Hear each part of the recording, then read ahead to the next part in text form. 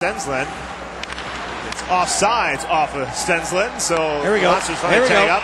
Now Machacek's dropped the mitts on the far side with Zanoski, and Machacek Wow. massaging the head of Zanoski. Now Zanoski fighting back as they momentarily wrestle. Now Machacek gets the left free. This has been one-sided so far. Machacek wearing himself out this first period. What's he going to do in the second?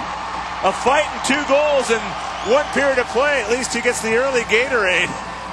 Nigel Dawes actually, I believe, uh, hits Zanoski initially. I think that's what took place as this puck was thrown out, hits the linesman. It's a delayed offside. Here comes Dawes. Yeah.